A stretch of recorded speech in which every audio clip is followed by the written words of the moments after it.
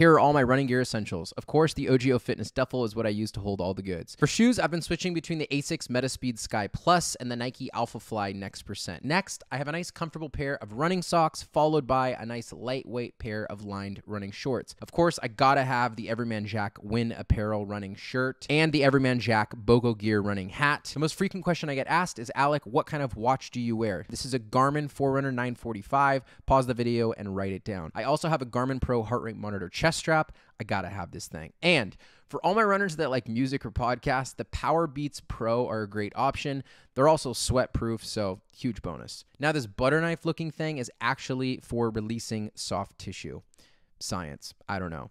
I also use a roll stick at times as well. Now, every runner hates to do it, but we know it's necessary. A foam roller, and finally, one overpriced massage gun. Comment below what your favorite run gear is. That's all I got for you. Later.